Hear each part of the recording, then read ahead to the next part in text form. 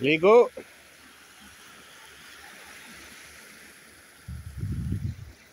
Liiku tarkoittaa uimista tai peseytymistä. Arjana on pikku pikirit päällä ja lapset pääsivät tuolta kaupungista tänne rannalle. Tää on Darwinin uimaranta. Tää on aika pitkä, että se on kymmeniä resortteja. Voi kävellä rantaa pitkin vai pysähtyä resortteen saada kahvilla tai kaljalla. Ja Caesar Space tossa edullinen ja hyvä paikka. Ja itse apteekin kautta, niin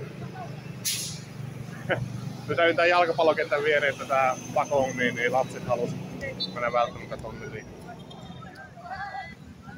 täällä pelit käynnissä. Mun mielestä tämä sopii muutenkin paremmin filpparille tuo jalkapallo kyllä kuin tuo koripallo, että ymmärrettävistä syistä. Ollaan pakongissa nyt. Ja kenttäpölyä siihen malliin, että täällä ei ole satanut kuukausia. Ihan älytön pöly. Mukava nähdä, että tämä Ostari on täällä kehittynyt, että se on kahviloita nyt. Tuolan kahvila.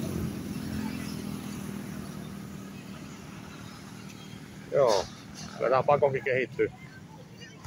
Mutta kyllä tuolla tarvii hengityssuojaamaan kun pelatessa. Taranata?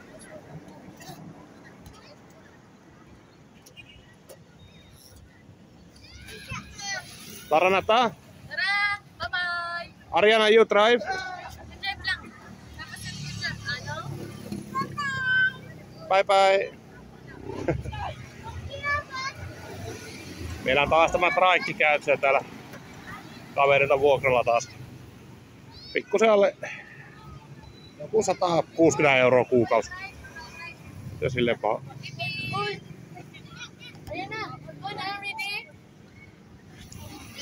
On sexy driver. See you later, babe. Bye bye. Jumakinen Boulevardilla. Tuo se extension, tuolla tuo laajennus, tuo iso, iso alue ja tää pari kilometriä pitkä taitaa olla. Tässä näitä hotelleja, ravintoloita ja kahviloita, niin tässä vaikka kuin paljon. Vähän päälle tonnilla, eli 20 eurolla niin saa jo hotellihuoneita tulee vartilta, että kannattaa tulla tänne, jos on ihan pelipaikoilla. Se puusta lauttakin tulee tonne laiturin päähän tuonne suoraan eteen päin, niin pääsee suoraan kävelle Boulevardille. Kivasti iltavalaisuuksissa näkyy tuo Sikiorin saari, siis noiduttu saari. Jos täällä sataa tai on pilvissä, niin tuo välillä katoaa. Tuo koko saari niin pilviverho. Niin mä ymmärrän myös sen takia, että miksi ihmiset ajattelevat, että se on noiduttu. Ja siellä on tämmöistä mustaa ja valkoista magiaa. Tosiaan tässä mulle varmaan kuuluisin paikka on tuo Vainot. Siinä on myös hyvä semmonen vähän dining tyyppinen ravintola ja sitten matkatoimisto ja internetcafe ja kaikkea mahdollista. Niin tuossa tuo Vainot. Siellä siis tämmönen disko ja sitten siellä hiljainen baari tuolla sisällä myös ja karaoke baari ja hyvää pizzaa tuolla ja hyvä deli shop myös. Oho, sielläpäs tupruttaa tuo alus. Aika väkevää savua. Kyllä se piipusta tulee. On tosiaan Sepunsaari tossa taas tuo. Että juuri tuolla paikkeilla niin on Santander ja sitten Oslopsa oikealla, niin siellä voi katsoa niitä valashaita. Ja suoraan tuossa Vainatin vieressä, mistä löytyy kaikki herkullinen ruoka ja meininki, niin tota, on tää hotelli Honeycomb. Ollut se on tosi monta kertaa ja yli parikymppiä yö euroissa, niin saa erittäin hyvää huoneen ilmastoinnilla ja sitten se alakerrassa soittaa bändi joka ilta myös sitä. Suosittelen tuoda paikkaa, tuo legendaarinen hotelli täällä Dumakideessa. Ja välipalaksi vähän tuommoista todella hyvää rykkopia sitten tämmönen kasvislihapirkka vainatissa. Just aloittamassa tässä outron nauhoitusta, niin alkoi sataamaan ensimmäistä kertaa kuukausi ihan oikeasti. Kuuletteko? Loppuuko sieltä?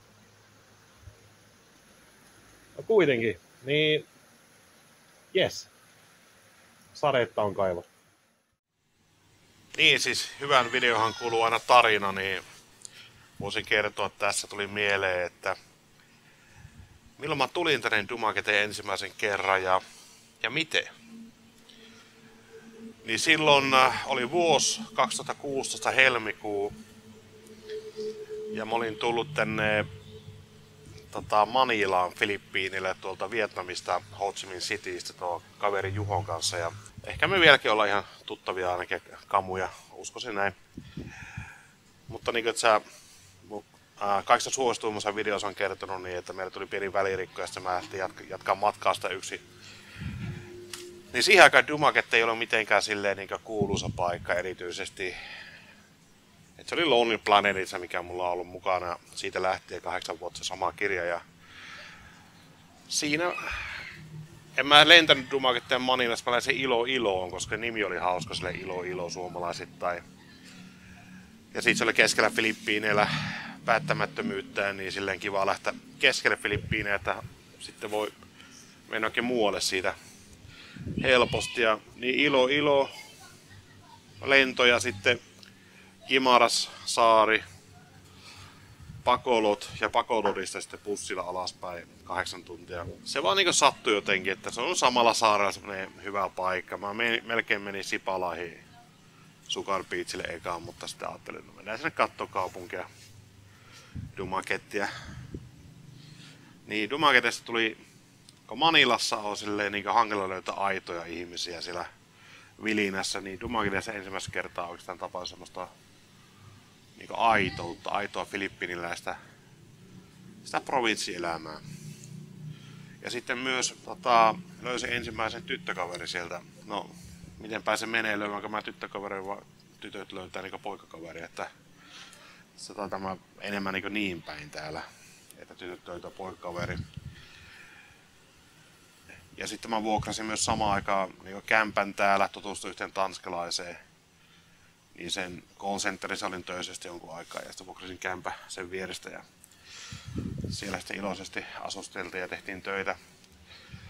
Mutta elämäni niin parhaat seikkailut jostain nuoruudesta – nuoruudessa oli kivoja seikkailuja, pyöräretkiä ja tämmöistä, niin oli lapsi, mutta sitten aikuisiellä niin täällä Dumagedessa ja Filippiinillä. Esimerkiksi, no, miten mä löysin tämän tyttökaverin, hän löysi mut niin sille, että no tuolla yökerhoissa ja paareissa ja tuolla missä tuolla öisin pyöritään, niin tapaa jonkun. Ja sitten puhelinnumerot vaihtuu ja niin edespäin. Mutta siinä kävikin sitten niin, että, että mulla olikin sitten seuraavalla viikolla jo niin neljä naista nukkumassa mun hotellihuoneessa. Tämä kuulostaa siis ihan hurjalta sille, että en mä mikään tota, Frederikki on, mutta siltikin niin se toimii siis näin, että joo, tytöt sopii keskenään, että kuka on niin sun tyttökaveri. Että niillä on omat säädöt, niillä on online-poikakaverit jossakin ulkomailla, jotka lähettää niille sponsorirahaa. Ja, ja sitten ne menee sitten joka ilta sinne etsimään niin lyhyt aikaisempia poikkavereita ja samaan aikaan chattailla sen onnan poikkaverille ja tämmöistä. Sitten ne tarvii majaa paikan, niin sitten ne nukkuu mun hotellihuoneessa. En mä tietenkään tiedä kuvita silloin niin kokonaan. Eikä mua niin haittaa tuommoinen aivan sama mulle. Tota, se oli mukava aika silloin se ää, Jennyn kanssa ja sitten sitten se nukkui myös Maija Karina ja sitten mikä tämä neljäs tyttö oli se. en muista hänen nimeä, mutta muistan kyllä hänet hyvin. Niin ei siinä ole mitään niin tämmöisen, mitä ajattelet, että mitä voi olla benefittejä, jos on neljä naista huoneessa. Ei ollut semmoista hommaa, että oli vaan se yksi sitten sovittiin, että mun tyttökaveri. Ja mä heidät sitten pari kertaa päivässä syömään. Eikä se maksa täällä juuri mitään tämmönen, että... Mutta se on kiva mennä sille ulos ravintolaan, että neljän kauniin naisen kanssa. Ja se muut expatit ihmettelee, että tuli muutaman kerran pöytääkin sille, että terve, että mä oon tota Mark Australiasta, että kuka sä oot? Mä oon Tommi Suomesta. Joo joo. Siis miten sulla on neljä naista? ja sitten mä, että no, se on semmoista, kun on komea, niin se on helpompaa se elämä. Joo. Mutta vitsillä vitsillä kato tämmöistä, että joka ilta ne meni metsästä sitä vainattiin näitä omia, omia poikavereita ja joskus sitten nukku muun huoneessa siinä, siinä hanikamissa, joskus ei. Ja, mitä mä opin niin naisista silloin näistä, ja ainakin nuoret naiset on tosi sotkuisia. Tota, WC oli niin hirveässä kunnossa niin ei muutaman tunnin jälkeen, että Uhui, ja me miehet ollaan kyllä huomattavasti siistimpiä kuin tuossa nuoret gimmat. Ja se just siis, kun ne sai musta jotakin, sen majapaikan ja sitten ruokaa, jotakin trinkkejä. Ja en mä pyytänyt heiltä mitään silleen, että sain mä sen tyttökaveri sitten, Jenni, se oli niin sovittu mulle, tai ne sopi keskenään, että kukaan alkaa Tommi tyttökaveriksi, kun kerran nukuu taas hänen huoneensa, niin tämmöistä kasuaalista elämää nuorena miehenä, eikä sitä sama kanssa mulle on. Niin sitten mennään yö, yöhön myös neljästä, viiestä, siis neljä naista ja minä, niin se oli mukava, mukava semmoinen statuksen kohotus, vaikkakin sitten niillä oli tietenkin omat säätöt siellä yhtä aikaa menossa. Ja mä edelleen näen näitä tyttöjä niin täällä toisinaan Viimeksi näki yhden niistä Banglaolla, ihan vaan käveli siellä Banglon katua alas, niin Dive Shopista niitä tämä, tämä yksi, yksi Karina heilutteli siellä, että terve Tommi, terve Tommi, mä että oi, herra jumala, Karina, no niin. Ja sitten tota, mua boolilla ja näissä turistimestoissa, kun nämä on tämmöisiä, täällä menee kategorioita, että on ne hyvät, hyvät naiset, sitten on, sitten on semmoiset vähän semmoiset tota, naista, joka ainoastaan ulkomaalaisten kanssa ja tota, etsii semmoista niinkö, elättäjää. Niinkö. Niin nämä naiset oli kyllä niitä, niitä että etsii sitä elättäjää. Ja sitten on tietenkin nämä prostituoit erikseen. Mutta tällaista se on elämä täällä, että köyhyys on brutaalia. Ja on se on paljon kivaa, että ilmaisia lomia ja tämmöistä. Että... Ja sitten näiden kahdeksan vuoden aikana on nähnyt jokaisella heistä niin useamman poikakaverin kyllä. Että... Ja useammat heistä poikakaverista ovat myös mun kaverit. Että... Semmoinen, voisi sanoa filippiinäiskin ruleetiksi vaikka, että samat naiset pyörii samojen jätkien tota, piirissä, mutta silleen, että ei sitä mitenkään sovi, sama tapahtuu jotenkin silleen. Niin tämmöistä oli se alkuaika silloin, kun tulin tänne Dumaketeen. Nyt on elämä niin erilainen, että nyt on täällä kahden lapsen kanssa ja vaimo, avovaimot saa nukkuu tai katsoo Netflixiä. Että näin se on elämä muuttunut kahdeksan vuodesta täällä Dumageressa. Mutta muistan nuo alkuajat ja paljon täällä ihmisiä, ketkä edelleen tekevät sama homman kahdeksan vuotta sitten. Esimerkiksi tämä parkkipojat tuossa, tuossa Vainatieensä ja kadunmiehiä naisia, niin samat siellä Purevardilla pyörii edelleen. Jopa sama kerjäläinen, että se on pääkirkon ees soittaa kitaraa paskasti niin kuin kahdeksan vuotta sitten yhtä paskasti soittaa, mikä rahaa siinä. Niin, täällä se on. Tei. Kiitos videon katselusta ja seuraavan kertaa. Moro.